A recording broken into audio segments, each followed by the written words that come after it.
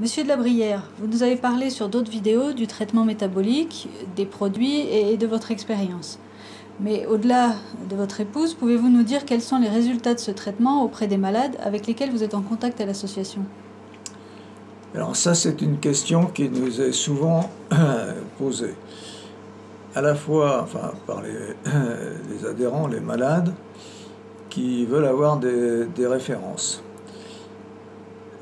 Ceci dit, nous ne pouvons pas répondre à, cette question car euh, des résultats, ça voudrait dire faire des statistiques. Et nous, nous ne sommes pas habilités à faire des statistiques, nous n'avons pas les compétences et nous n'avons pas les moyens. Pour faire des statistiques médicales, il faut bâtir un, projet de, recherche euh, avec des essais cliniques et tout un protocole, mais ça, ce n'est pas fait pas partie de notre, notre travail.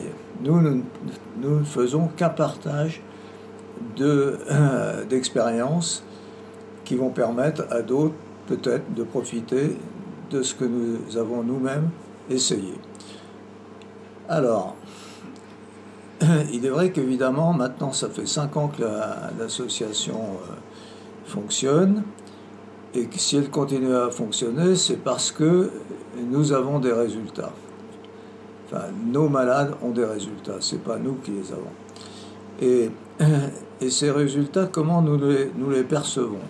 Tout d'abord, il y a un certain nombre de gens qui nous disent, ben voilà, j'avais tel problème que vous connaissez puisque nous sommes en rapport avec eux, euh, et puis ben, j'ai plus telle douleur, j'ai plus ceci, ou les examens sont meilleurs, ou je n'ai plus rien.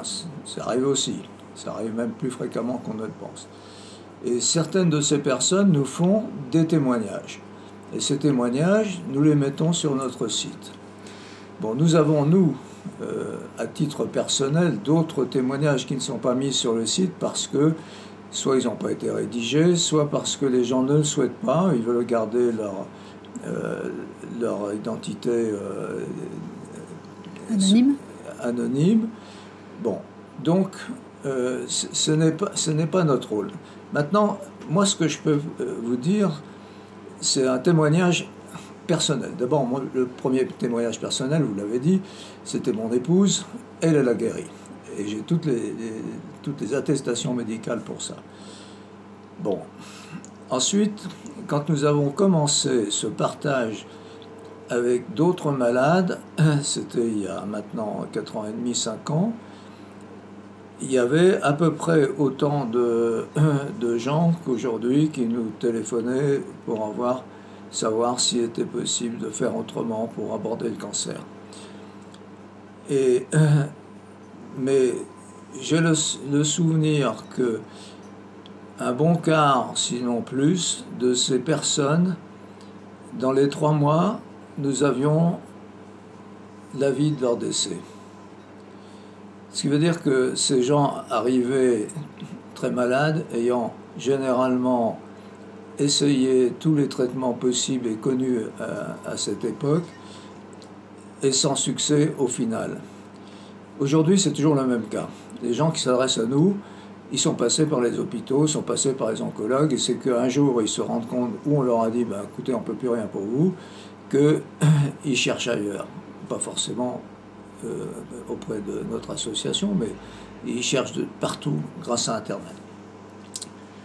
Et aujourd'hui, le sentiment que j'ai, c'est qu'il y a peu de décès, il n'y a pratiquement plus de décès dans les trois mois. Ce qui veut dire qu'il y a des résultats. Alors ensuite, vous dire que ces décès qui n'ont pas lieu dans les trois mois ne vont pas avoir lieu plus tard, je ne peux pas vous le, dire, je n'en sais rien, parce que qu'est-ce qui se passe quand les gens vont mieux? Ce qui est souvent le cas, ça on le sait. Mais après, il y en a beaucoup qui disent Ah ben je vais mieux, ben c'est guéri. Pour eux, c'est parti comme serait partie la grippe. Et c'est pas ça qui se passe. Le cancer n'est pas la grippe. Et donc à partir du moment où on va arrêter un traitement qui fonctionne, bien souvent, c'est trop tôt. Et donc, il y aura récidive. Et la récidive ne sera pas immédiate. Et comme elle n'est pas immédiate, le jour où elle, vient, eh bien, les malades ne s'adressent plus à nous, puisque pour eux ça n'a pas marché, ils considèrent que ça n'a pas marché, donc ils retournent dans le système allopathique. Voilà, c'est pour ça que on ne peut pas, nous, dire, voilà, il y a tel et tel résultat. Nous savons qu'il y a des résultats. Je peux, à l'occasion, vous donner un nom d'une ou deux ou trois personnes, même plus, qui s'en sont sortis. Je sais qu'ils s'en sont sortis, mais la plupart ne me l'ont pas dit. Parce que celui qui va bien, eh bien, il retourne à ses affaires. D'accord. Et vous parliez de statistiques tout à l'heure. Euh, les statistiques, on peut leur faire dire ce qu'on veut au final. De toute façon, dans, dans tous les domaines, les statistiques, on peut effectivement leur faire dire ce qu'on veut. Elles, peuvent, c'est comme les marqueurs, ce sont des indicateurs d'une tendance ou d'une autre, sachant que quand la tendance n'est pas franche, bon, euh, ça, peut, ça peut être interprété comme on veut. Ensuite, il y a une statistique qui n'est pas une statistique, mais qui est une réalité. Vous êtes intéressé aujourd'hui par le problème du cancer, parce qu'autour de vous, il y a des gens, de plus en plus de gens, qui ont le cancer, et il y en a de plus en plus qui meurent. Et ça, c'est peut-être pas une statistique numérique, mais c'est un fait. Et ça, vous le constatez de vous-même. Et donc le cancer, on meurt. Merci.